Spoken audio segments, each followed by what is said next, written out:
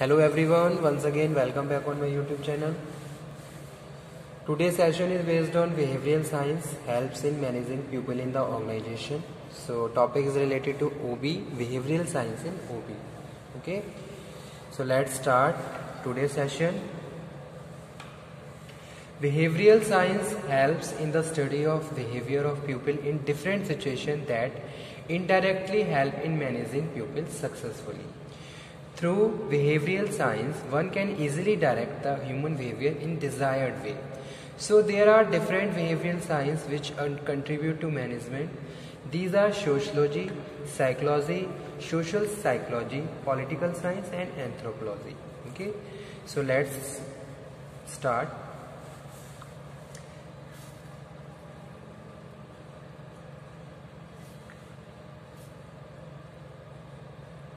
Behavioral science helps in study of behavior of pupil in different situation in different situation that indirectly help in managing pupil successfully.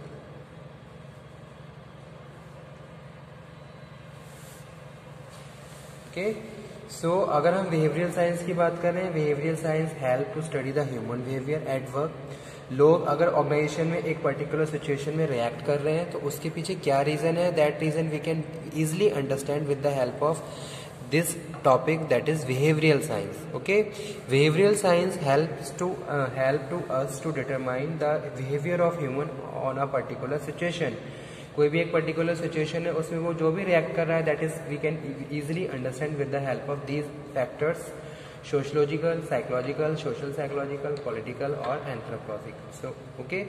So there are different behavioral science in which contribute to management. First one is sociology. There are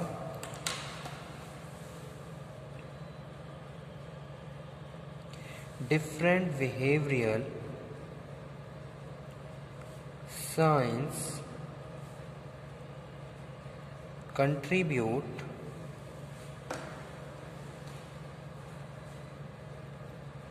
to management are first one sociology ठीक है? तो सबसे पहले क्या है? Sociology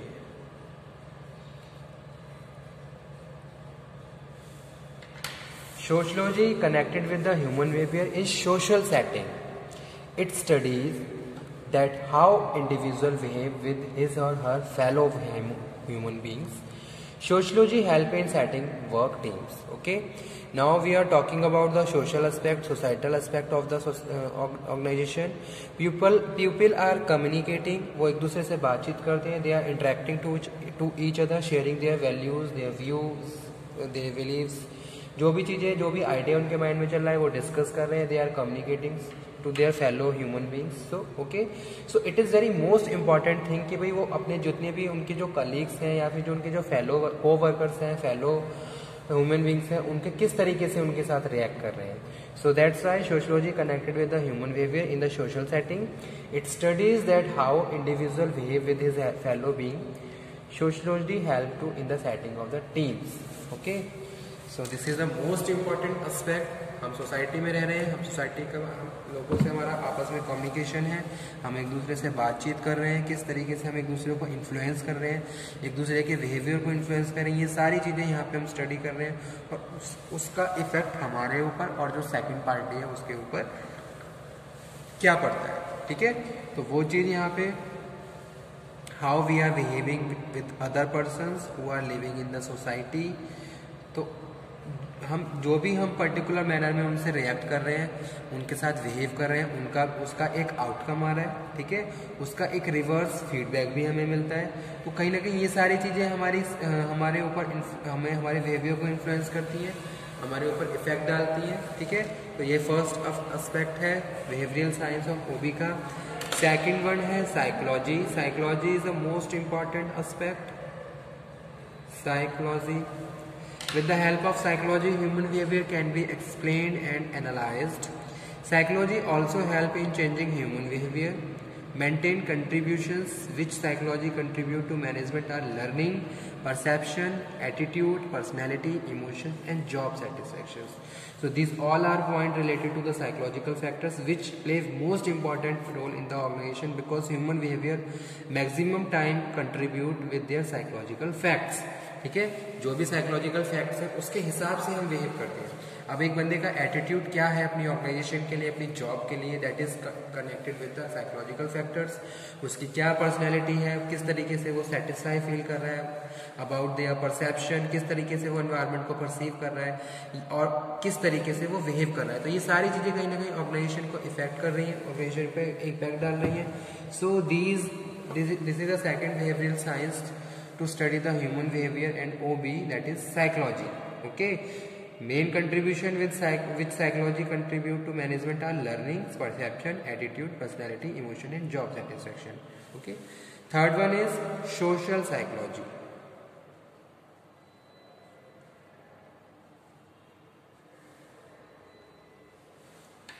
It take two concepts, psychology and sociology. It help in the study of behavior of people in the group. लोग group में कैसे काम कर रहे हैं, किस तरीके से रिएक्ट करते हैं this is understand in the study of OB it also help in the study of influence behaviour of people ठीक है? और किस तरीके से हम उनके बिहेवियर को ग्रुप के बिहेवियर को इन्फ्लुएंस कर सकते हैं। With the help of this method attitude can change easily और ईजिली हम एटीट्यूड को चेंज कर सकते हैं, ठीक है? So social psychology is also important behavioral science to study the OB. It take two concepts, psychology and sociology. Psychology helps to study behavior of people in groups. It also help in the study of influence on behavior of people. Okay. Next one, political science.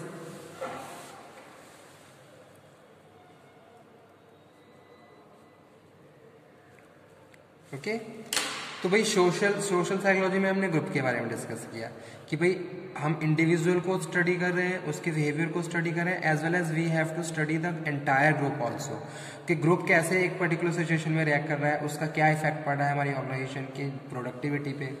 ये सारी चीज़ें यहाँ पे हम consider कर रहे हैं। Next है political science it studies the human behaviour with any political environment किसी एक पर्टिकुलर एरिया स्पेसिफाइड एरिया उसमें जो भी पॉलिटिकल एनवायरमेंट है, उसमें हम ह्यूमन बिहेवियर को स्टडी कर रहे हैं।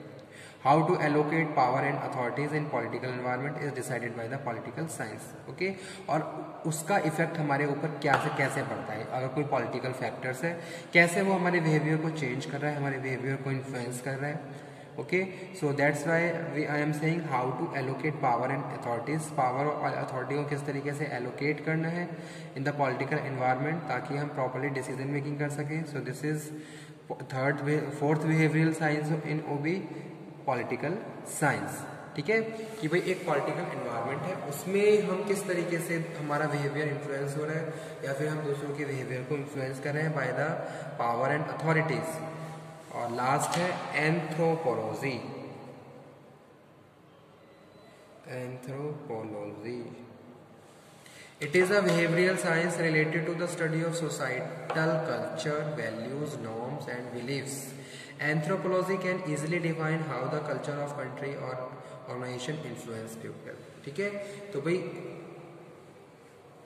एक कंट्री है, उसका कल्चर और वो ऑर्गेनाइजेशन कैसे लोगों को अफेक्ट करती है। हर ऑर्गेनाइजेशन का अपना अलग कल्चर होता है, अपने अलग कस्टम रूल्स एंड रेगुलेशन होती हैं।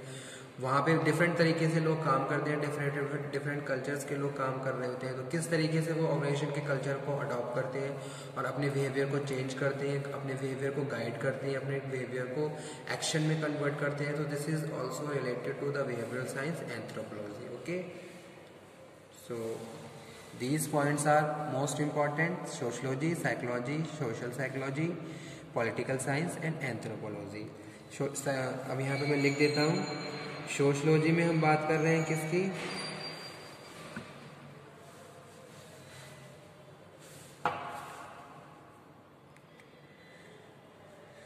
group dynamic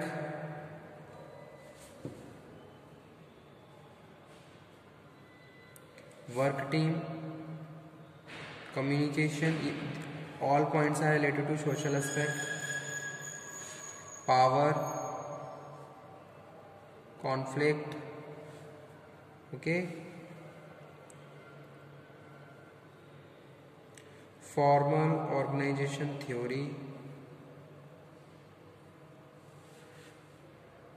change organization change organization culture ये सारे पॉइंट कहीं ना कहीं सोशल एस्पेक्ट से रिलेटेड है। उसके बाद नेक्स्ट है।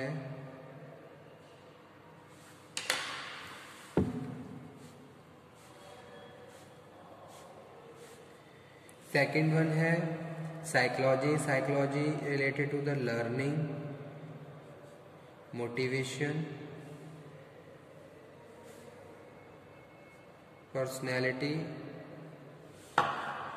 emotion, perception, training, job satisfaction, leadership, decision making, work stress,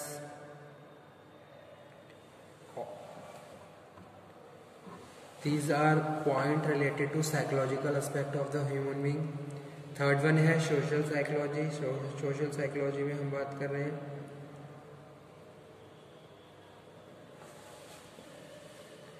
Behaviour change behaviour change communication group process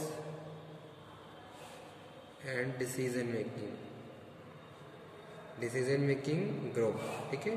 fourth one है पॉलिटिकल साइंस पॉलिटिकल साइंस में हम बात कर conflict intern inter organizational politics और पावर तो ये सारे पॉइंट किससे रिलेटेड है? पॉलिटिकल फैक्टर से रिलेटेड है।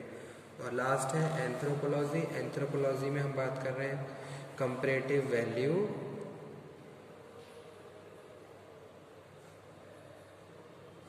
क्या वैल्यू है क्या हमारे बिलीव्स हैं cross culture analysis cross culture analysis okay so the this is all about today's session behavioral science in OB in which we have already discussed social aspect psychological aspect social psychological aspects political aspect or anthropological aspect okay thank you student thank you very much